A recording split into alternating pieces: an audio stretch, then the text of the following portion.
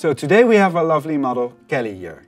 Kelly is with us to receive one of our signature spa treatments. In order to determine which treatment Kelly should receive, we should do some tests. An elasticity test is one of the important tests that you can do to determine if we have a lack of moisture or a lack of protein because that will determine which products I should use. So in order to do the elasticity test in a very friendly way, we can take one piece of the hair and pull a knot into it. We take approximately one square centimeter of hair. We make sure that we comb it through, that all the hairs are nice and smooth.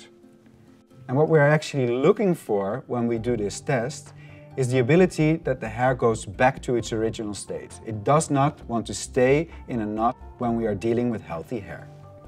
So let's do the test. So we pull a knot, we pull gently on the hair, and then we look how it goes back to its original state. Is the knot staying there or does it want to go back? So what we can see here is that the knot actually opens up and becomes bigger, so we have different degrees of porosity over the length of the hair. So we work our way down towards the ends. Again, pull gently, let go.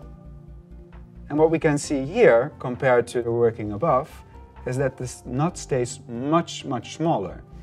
And what we can see from that and what it indicates is that we're working with a higher porosity and a degree of damage. So we should focus on that when we do the treatment.